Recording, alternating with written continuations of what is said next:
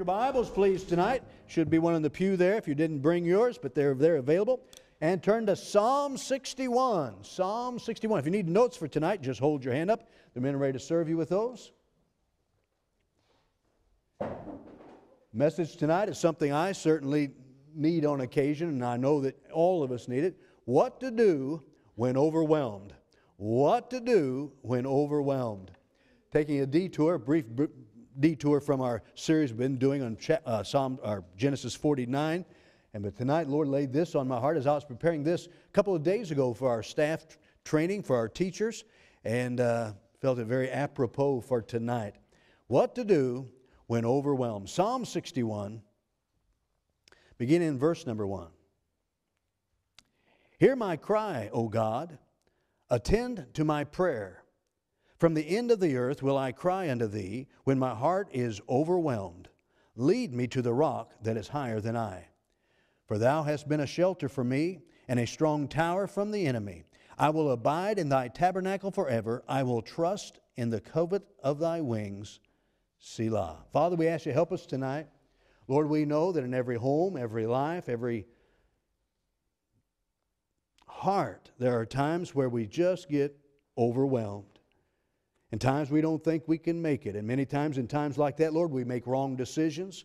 We say wrong things. We go wrong directions. So, Father, I pray that tonight you would just equip us. Lord, maybe this is a, a preventative message, a preparatory message for chaos, difficulties, heartaches, pains that are coming in the future. Maybe some are in them right now, that you would use this to be a, the tool and the blessing they need tonight to be what we need to be. So, Lord, in your special way, with your special word, I pray, Lord, that you would work in might and in power and in a marvelous way, that we might be leaving here in just a few moments built up, encouraged, more like your sons, and more ready for the battles that are before us. In Jesus' name we pray. Amen. Thank you. you may be seated.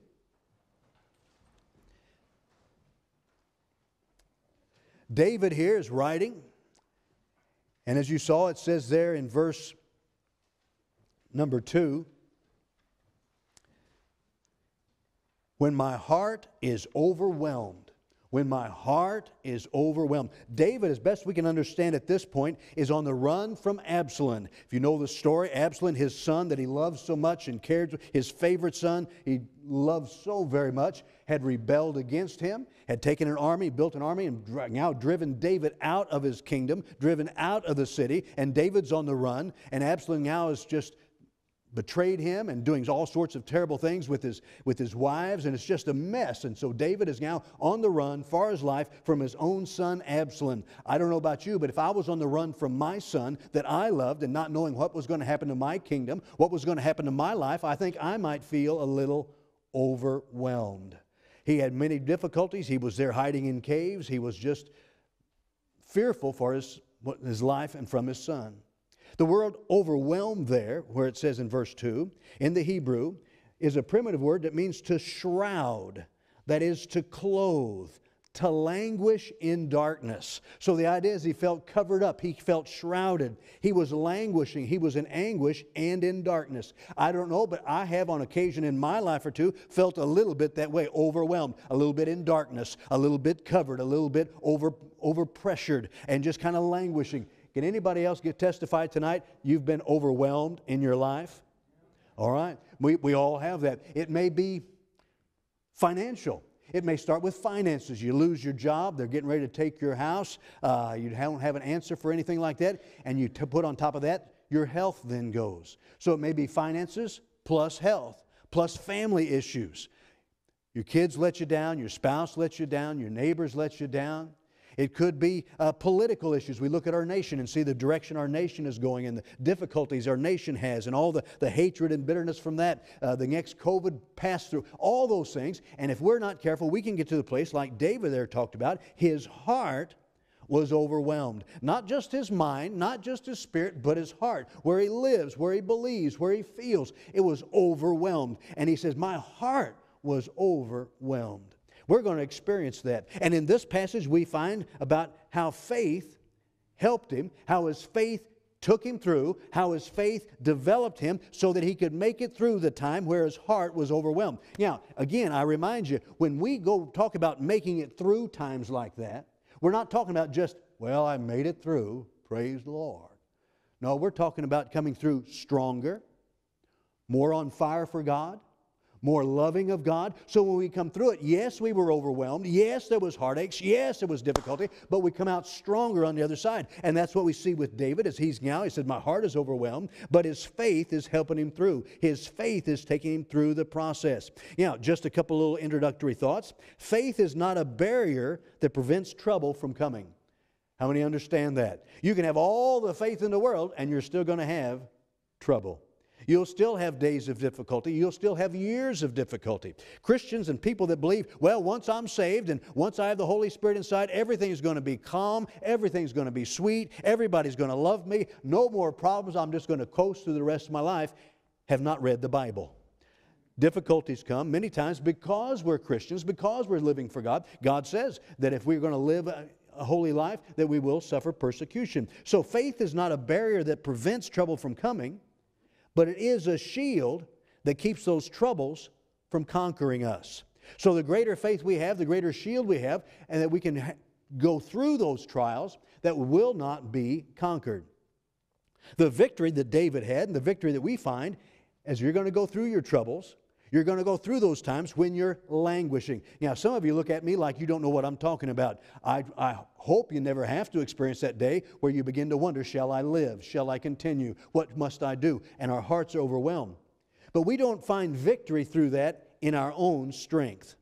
Are you listening? We don't find in our strength. People like me sometimes, boy, say, I'm going to be strong and I'm going to be tough and I'm going to be hard and I'm going to make it through. That won't give you the victory. It may sustain you for a little bit, but when that overwhelming of our heart comes, it won't do it. The victory is not found in our strength, it's only found in the power of God and faith in His ability to sustain us. Again, leaning on Him. But we're all going to have those times where we're overwhelmed. Just put it down. And here's the faith we have to take us through the trials and through the problems. By the way, it's through the trials and through the problems, and even when those times we feel overwhelmed and tears are coming down our face and we just are languishing, can't sleep at night, and our hearts are broken, it's those times that we grow in faith. Are you listening to me? We only grow through trials. We only grow through difficulties. We only learn about the, what God can do for us by the trials. We sing that song all the time, uh, through it all. Through it all. Here's a verse from Through It All I thank God for the mountains and I thank Him for the valleys. I thank Him for the storms He brought me through. For I had never had a problem. I wouldn't know that God could solve them. I never know what faith in God could do. So until we have problems, we're nearly not going to grow. Until we get to the place where we are overwhelmed in our heart and we're oppressed and we feel down and we feel shrouded and we feel in the dark and we feel tormented, until we have those things in our life, we don't know how to get a hold of God. We don't know how to let God minister to us and comfort us, as it says in 1 Corinthians. He says, I've been comforted in all things that I can comfort others in all things also. And so until I have those troubles, then I cannot comfort people like I should. So tonight we're looking at this passage, these first four verses, on on what to do when you're feeling overwhelmed. Now, we're normally not overwhelmed by just one thing. It's when the second thing, and the third thing, and the fourth thing comes, and we're just overwhelmed. David had these issues, so here we go. Very simple lesson tonight, and I want you to write it down. Trust it'll help you because you may not be in it now, but the day comes when you feel overwhelmed. Here's the key. Number one, here we go. What do we do when I'm overwhelmed? Number one, Pray. You say, oh, preacher, that seems simple. It is simple, but we just don't do it. It is simple, but we don't apply ourselves. It is simple, but we don't utilize that opportunity. We need to pray. Look at verse number one. Hear my cry, O God, attend to my prayer. He says, Boy, he said, I'm crying into you. When we get overwhelmed, we really only have two options. One is panic, and the other is prayer. We can start panicking. I'm not going to ask for a show of hands how many times you've ever panicked. But I know I have. And boy, when we panic, we say things, we do things, we react that we regret sometimes for the rest of our lives. So here he's in these trials. He said, My heart is overwhelmed. And what he's doing, he's beginning to pray. Very quickly, I want you to notice as he prayed, we see the passions of overcoming prayer. The passions. He's overcoming this overwhelmed spirit. He's overcoming this. He's coming out of this. He's going through it. And how he does it, first of all, we see the passions of overcoming prayer. By the way, the prayer that's going to make us through, the prayer that's going to actually d- deliver us through this overwhelmed spirit, it's got to be authentic. It's got to be real. I don't know about you, but I in my life have been known sometimes not to have my prayers always be as authentic, as real, as true, as powerful as they ought to be. We get in the routine, we just make it a ritual, and we pray like we're talking to an answering machine, and we just go on, but never really getting a hold of God. It must be authentic and it must be real. I believe it's there in your notes in Psalm 17:1. Hear, hear the right, O Lord, attend to my cry, there's that prayer.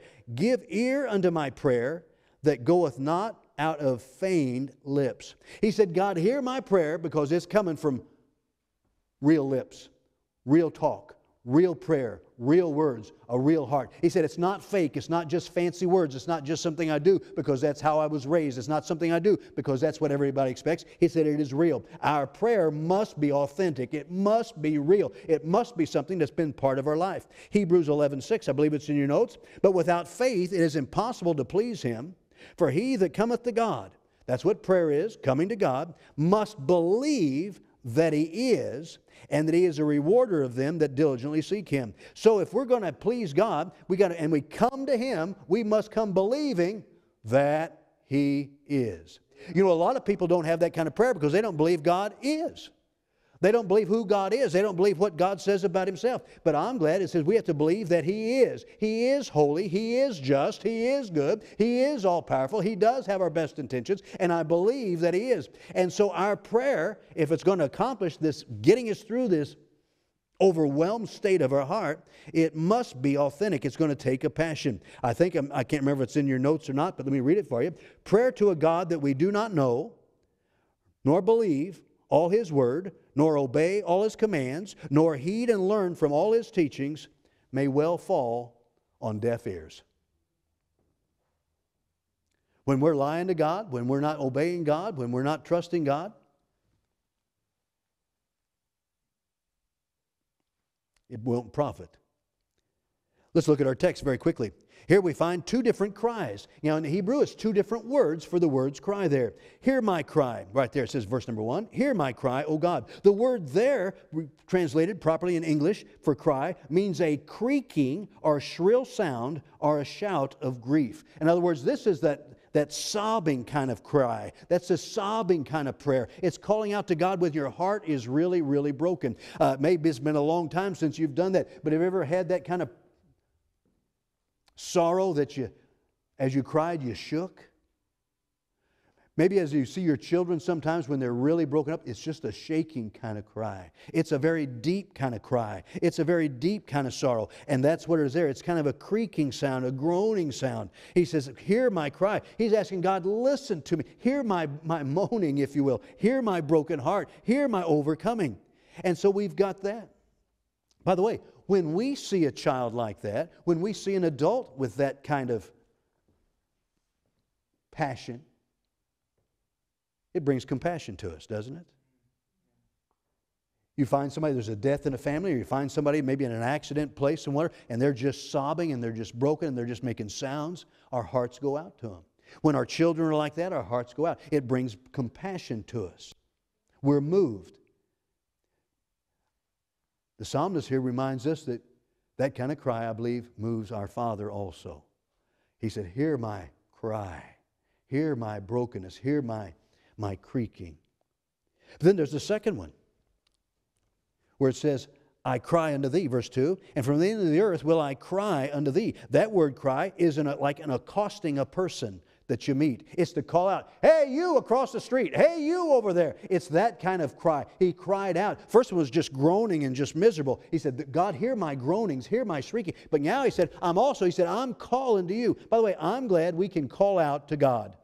I'm glad we can call upon Him. He wants us to, desires us to, and He will listen. So there's a passion in the prayer. So when we're going to make it through these overwhelming times, it's going to take a passion in prayer. Something's real, something fervent, something that's, that's alive in us. If we just say a prayer because we think we ought to, or we just say a prayer Mama taught us, eh, but we're not going to have that help that we need to make it through when we're overwhelmed. So we find the passions of prayer. Secondly, we find the pouring of prayer. The pouring of prayer. In Psalm 62, just the next psalm over, and in verse number 8, it says, Trust in him at all times, ye people. Pour out your heart before him. God is a refuge for us, Selah. So that's what we find here. He's crying out to God. He's crying out with that brokenness, and it's pouring out his heart. See, pour out your heart. Pour out means just that. You open it wide, you empty it, you give it all. So when we go in prayer, it's not just God, this is what I need, this is what I want, but when we're opening up like that, we just pour it out before Him. In Lamentations 2:19, arise, cry out of the night, in the beginning of the watches, pour out thine heart like water before the face of the Lord. Lift up thy hands toward him for the life of thy young children that faint in hunger, the top of every street. They said, Boy, pour out your heart like water. Again, until we get to the place where we've experienced that kind of overwhelming in our heart, we don't understand what it means to really pour out our heart, to open up our heart, to have those tears that flow, to have that kind of passionate prayer. But that's what David said. As he was running from his son, he was broken up. His heart was overwhelmed. A man with a, the Bible says, with a man after God's own heart, was crying out for that, pouring out his heart. In 1 Samuel 1:15, we know the story about Hannah and how she was praying, and the priest was there and he thought she was drunk. And Hannah answered and said, No, my Lord, I am a woman of a sorrowful spirit. I have drunk neither wine nor strong drink, but have poured out my soul before the Lord. See, if we're not used to having real fellowship in prayer with God, if we're not used to really pouring out our lives to Him and opening ourselves to Him, when the times of overwhelm comes in our heart, we won't know how to talk. We won't know how to pray to Him. We won't be ready for it. That's why it's important we have that routine of prayer, but pouring out of prayer. The pouring out of prayer. It's in your notes, the quote from Spurgeon. Are you still with me tonight? Yeah. Boy, this will help you.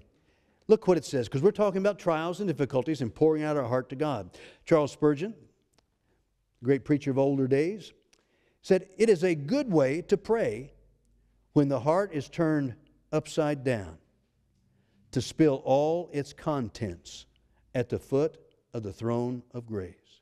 That's what pouring out your heart, just turning it over. If you're going to pour out something, you just turn it over. You take that pitcher, you take that glass, you turn it over, pour it out. So is a good way to pray when the heart is turned upside down to spill all its contents at the foot of the throne of grace. Perhaps sometimes the overwhelming of our heart is only meant to empty all the dredges out of it, that the last particle of self righteousness and self reliance and self confidence may be drained out at the mercy seat, that there may be room for an overflowing abundance of divine grace. But when we can pour out our hearts, that's not just that burden, but just everything. God, I'm just, I'm just empty. I'm just pouring it out before you. All that self-righteousness, all that self-confidence just has to go. So, how do, what do we do when we're overwhelmed? We pray. We find the passions of prayer. We find the pouring of prayer. Thirdly, we find the places of prayer. We're going to go quicker now. The places of prayer. Notice what it says there in verse number two. From the end of the earth will I cry unto thee. He says, Man, I am a long way from home. I'm a long way off. He said, I'm far away, but from the end of the world I will cry unto you. I'm glad we can pray everywhere. I'm glad we can pray in church. Amen. I'm glad about that. I'm glad we can pray in our little private closets, but I'm glad we can pray on well, you better be praying on Highway 680, that's for sure. Uh, we can pray there, we can pray in the workplace, we can pray everywhere. But he was talking about, he said, I'm just from the ends of the earth, where I am. See, he was far away from the tabernacle. He was far away from his city. He was far away from his loved ones. He was far away from where he wanted to be and where he desired to be. He said, But from this end, I'm still crying. Oh, I'm glad that we can cry and pray unto him from everywhere. Because, by the way, we'll always be heard. You can always be heard. We won't always be heard, but we can always be heard. Psalm 94 9. And he that planteth the ear which is God, shall he not hear? He that formed the eye, shall he not see it? God can hear us in any place. But we've not we've done a study on this before. There are some hindrances to prayer where God doesn't hear. Sin keeps our sin in our life keeps him from hearing us. If I regard iniquity in my heart, in other words, I keep sin in my heart. I keep that sin. I know it's there, and I'm just kind of living with it. I'm just kind of playing with it. I'm just regard it. If I regard iniquity in my heart, the Lord will not hear me. So the idea is let's keep our hearts right, but wherever you are, you can pray. You can pray whether you're down at the mortuary, you can pray on the highway, you can work. I'm glad we can pray. It's the places of prayer. So you say, Preacher, my heart is overwhelmed. It may come from a death this week.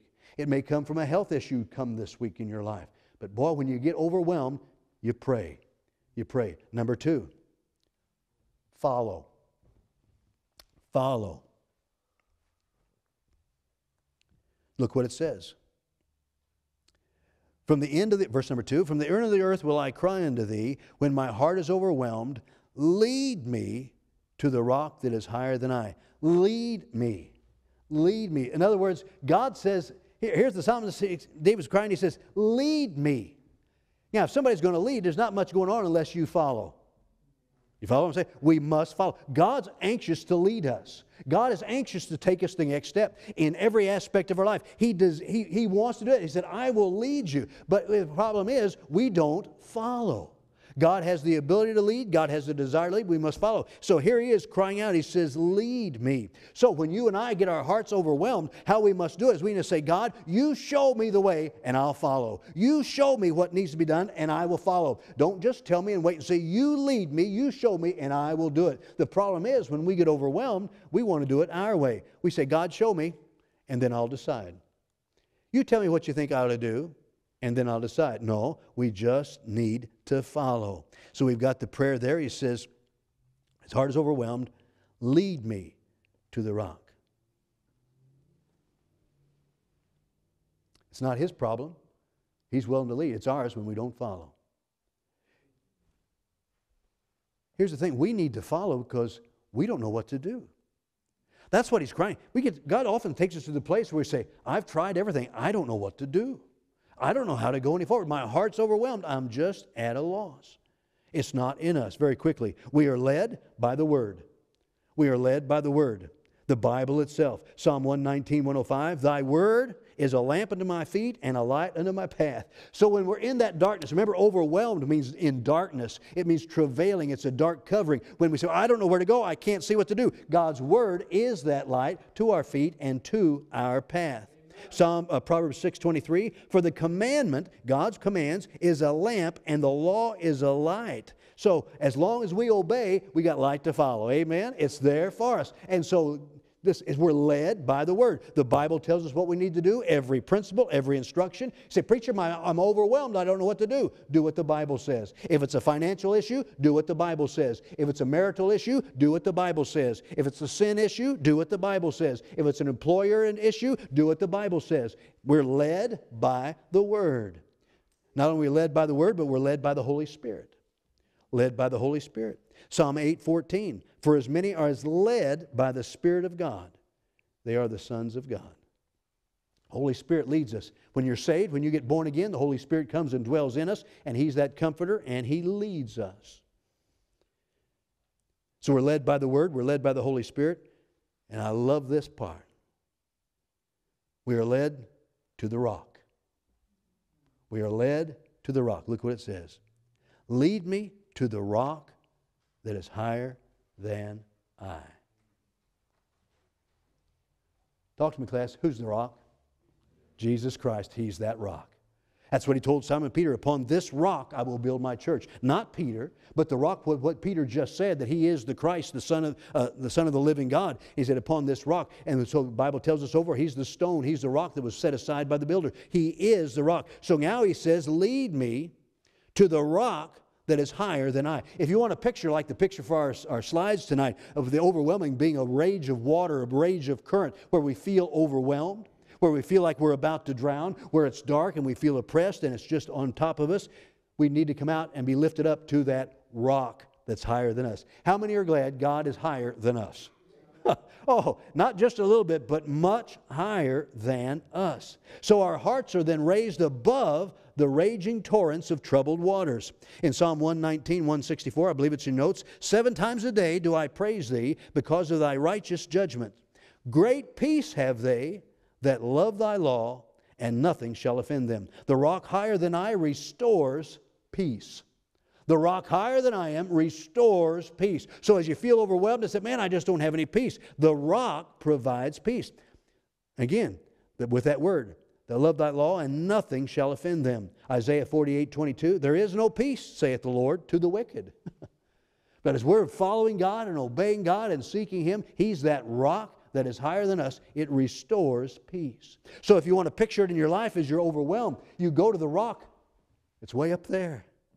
The storm is here, the flood is here, the miry clay is here, the difficulties are here. Lead me to the rock that is higher than me. Problem is, most of this world wants to bring Jesus down to their level. No, Lord, take me up to your level. Restore to the rock that is higher than I, very quickly. The rock that is higher than I restores peace. It, it removes pride. That rock removes pride.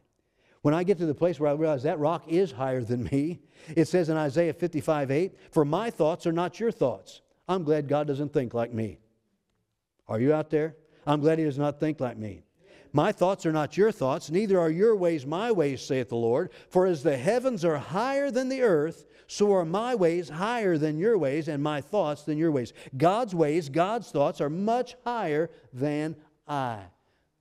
Yeah, see, when we get overwhelmed, when we get to that rock and we say, God, lift me to that rock, lift me out of this mess, and I want to go to the rock that's higher than me, we realize I don't have the answer, but He does. I don't have a solution. Because when you're overwhelmed, you realize you don't have any control. When you're in the hospital and the doctor says, no hope. You can have all the positive thoughts you want, you can have all the ways you think, but you have no control. It's all God.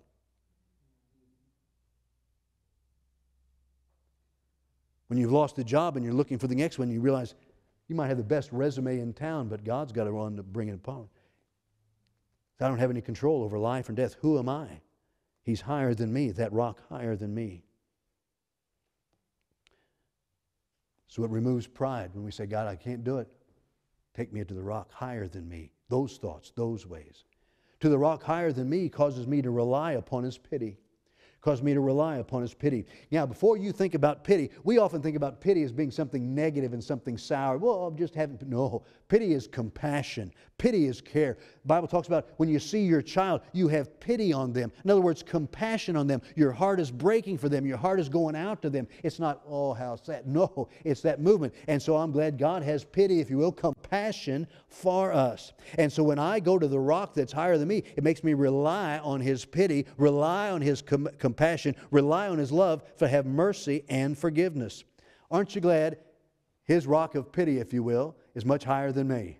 No matter how, no matter how, tall the pile of sin I have in my life, his forgiveness is higher. Amen? No matter how much trouble I have in my life, his p- forgiveness, his pity, his compassion is more than that. Romans 5:20. Moreover, the law entreated, that's there in your notes, that the offense may abound. But where sin abounded, no matter how bad sin is, no matter how bad we are, grace, God's grace, did much more abound. See, our salvation, we realize that God's love for us, Jesus Christ's blood shed on the cross of Calvary for your sins and mine, is more than enough for anybody's sin. Amen? Aren't you glad we, God doesn't say, Well, I'll save you. I shed my blood for you, but let's just see how bad you're sin. Uh, getting pretty close. Sorry, you're over the limit. Not that way. God's grace much more abounds over our sin. I'm glad for that. Oh, when I was age 19 and realized a sinner headed for hell, couldn't do anything about it, but Jesus already had, there was no question would, did he have the power to forgive me. There's no question whether or not he had power to save me because he's the rock that's much higher than me. We sing the song about it, but here's the verse Psalm 40, verse 2. He brought me up, talking about God, He brought me up also out of a horrible pit. Boy, before you're saved, that's where you are. You're in the pit. Even after you're saved, when you get down and discouraged, you're in that pit. He brought me up also out of a horrible pit, out of the miry clay, and he set my feet upon a what glass? Rock, amen, and established my goings. He put a new song in my mouth, even praise unto our God. Many shall see it and fear and shall trust in the Lord. Boy, that's what salvation is. We come out of the miry clay of sin and of disgust and wickedness, and He lifts us up by His love because of the cross of Calvary and sets us on the rock and establishes our going, a rock that's much higher than I. See, I'm down in the pit. I'm glad He just didn't put a little rock down in the pit and says, stand on that. Amen. It's much higher. Pulled me out of that and put me on that rock. Very quickly, we're almost done. What do I do when I feel overwhelmed?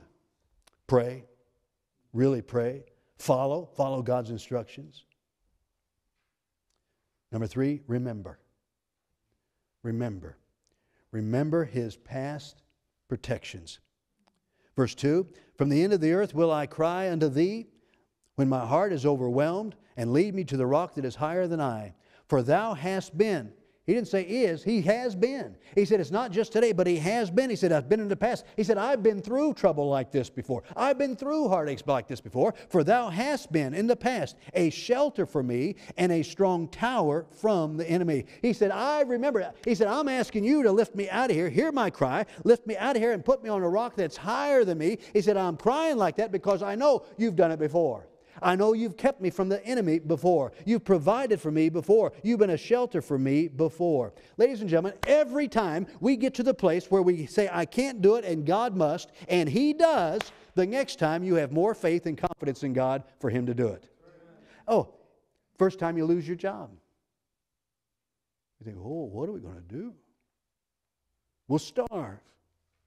We'll die. God provides. God provides, then He provides a new job. Praise the Lord. Three years later, you lose your job again. And you start the same thing. What are we going to do? We're going to die. You say, wait a minute. I've been through this before. I got to remember. When we begin to feel overwhelmed, we say, wait a minute, God's done something for me in the past. I'm all right. He can do that, He can do this. That's why many times our trials get bigger and bigger and bigger so that we can have more and more faith in him because God is still able to do that. And so he said, I remember, for thou hast been a shelter for me and a strong tower in the past from the enemy. So I Romans 5 3 there in your notes. And not only so, but we glory in tribulations.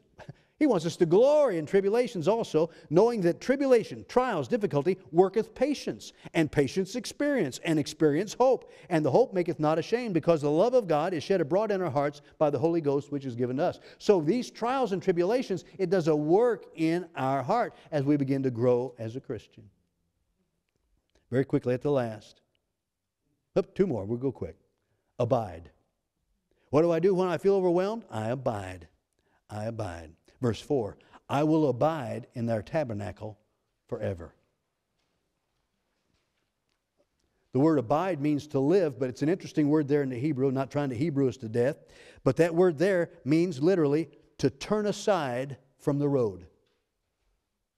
To turn, he said, I abide, I live, but I've turned aside from the road. In other words, here I'm going down the road and I'm getting overwhelmed. I just, I don't know what to do. Wait a minute, I know what I can do. I'm going to turn aside to the Lord. Think I'll just stop and go in. Think I'll stop and abide. Oh, that's what, just abide. Abide. He said, I'm going to abide in your tabernacle. Oh, we don't have time to go into all that. But the tabernacle, of course, was is two aspects. Abiding in the tabernacle, if you want to put it in the modern term, that's the church. The tabernacle was the place where they worshiped God, it's place where they had to sacrifice us. And he said, I'm going to abide. Notice what it says, I will abide in thy tabernacle forever. David, as we know, loved the church. By the way, Bible says Christ loved the church and gave himself for it. In fact, in Psalm 27, God through David said, One thing have I desired of the Lord. He said, I got one thing I've asked of the Lord. That will I seek after. Well, what is that, David? Lots of money, lots of power, lots of. No. That I should dwell in the house of the Lord all the days of my life, to behold the beauty of the Lord and to inquire in his temple. Psalm 84 4 Blessed are they that dwell in thy house, they shall still praising thee. I was glad when they said unto me, Go into the house, let us go into the house of the Lord. So it's the tabernacle. David loved that. But you know, here's a problem. He's not near the tabernacle now. He's on the runway out there. He said, That's where I want to be. He said, I'm going to dwell there. He said, But we're talking about the tabernacle. I believe that tabernacle is also God's presence. His presence. We can always be in His presence. We can always be in Him as our tabernacle. Psalm 16 11. Thou wilt show me the path of life. In thy presence is fullness of joy. At thy right hand there are pleasures forevermore. And he that dwelleth in the secret place of the Most High shall abide under the shadows of the Almighty. Man, just abide with God. Just pull aside. Stop going the wrong direction and turn off the road and live with Him. Stay close with Him. Walk with Him. Then, lastly, what do I do when I'm overwhelmed? Pray, follow, remember, abide, and then trust. Trust in His wings. Verse 4 I will abide in thy tabernacle forever. I will trust in the covert or the coverings of thy wings.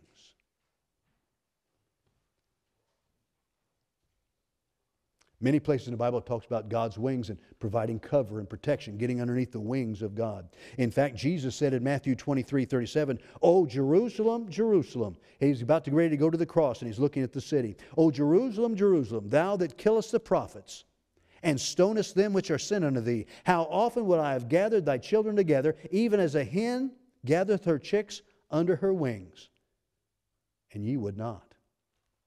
Well, God wants to put his wings over us. Let us be the little chicks, and underneath, just like a chicken with the wings, wings spread out over her hens. Just protection, warming, security. That's what David said. I will abide in thy tabernacle forever. I will trust in the covert of thy wings. Psalm 91 4 He shall cover thee with his feathers, and under his wings shalt thou trust. His trust shall be thy shield and the buckler. One last thought. The word trust there in the Hebrew, is this is key, is more than just a feeling. The word trust there, the one that's translated trust there, means to flee for protection. So it's not just a feeling, I'm trusting, I'm going there, I'm headed there, I'm getting under the wings, I am moving there. I'm trusting, not just in my head, not just with feeling in my heart, but I am fleeing for protection, to have hope and refuge. David on the run from his son. Maybe his son's going to kill him. He's already taken his counselors, done so much. He said, My heart's overwhelmed. He says, But I know what to do. I know what to do. It's that faith. I'm going to pray. I'm going to cry out to God. I'm going to follow what God tells me. I'm going to remember how He's already helped me in the past, that He can deal with this one also. And I think I'll just abide. I'm just going to stay close to Him, stay in His presence, and I'm going to trust Him. I'm just going to enjoy that time under His wings. Now, we can say, well, that's a very interesting psalm. And then trouble's going to come next week, and you'll feel overwhelmed. And you'll go to maybe turn to drugs or alcohol or some other thing and say, wait a minute, no, no, that's not what we're supposed to do when we feel overwhelmed. God just showed us what we're to do when we feel overwhelmed. Let's bow our heads, please. Every head bowed, every eye closed. Just for a moment. As God showed you something that you need to prepare for, if you put a burden in your heart that you need to get some things aligned up, maybe a prayer life, maybe more time in the Word, studying the Word, maybe just dwelling in His presence more, maybe more faithful in church, I don't know, preparing for those days when you're overwhelmed. But let's decide we're going to do it. We're not going to lose out. We're not going to fail when it comes because His strength is there. But it all starts by being pulled out of that miry clay and put on the rock, being saved, being born again. Because we know the Bible says we're all sinners and deserve hell. But God loved us so much, He died for us to pay the sin debt. And if we'll come believing, trusting, and calling, He promises to save us and take us to heaven as David was saved. So, Lord, I, I ask you to help us tonight. I don't know the need like you do.